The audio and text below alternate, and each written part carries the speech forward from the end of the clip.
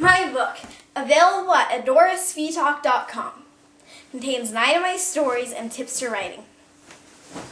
Dancing Fingers, written by Adora Svitak and Adrianna Svitak. Available at adorasvitak.com.